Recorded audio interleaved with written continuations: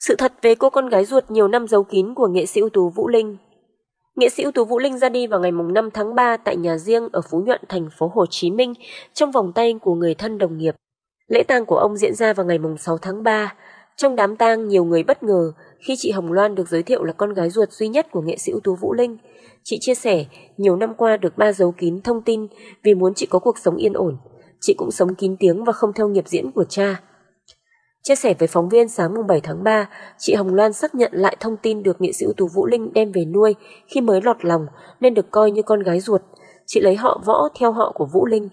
Vũ Linh tên thật là Võ Văn Ngoan và trên giấy khai sinh vẫn được coi là con gái duy nhất của Vũ Linh.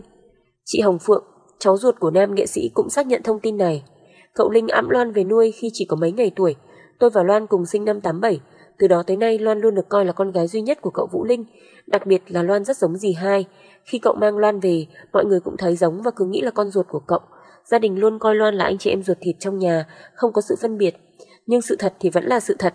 Gia đình muốn lên tiếng để cậu không bị mang tiếng là có con rơi.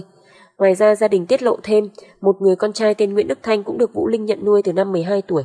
Đối với Bình Tinh, Vũ Luân và Đức Thanh, mọi người có thể gọi là con nuôi, nhưng với Hồng Loan thì mọi người hãy xem cô ấy là con gái ruột của Vũ Linh, xin đừng làm tổn thương cô ấy. Đây cũng là tâm nguyện của cậu và gia đình.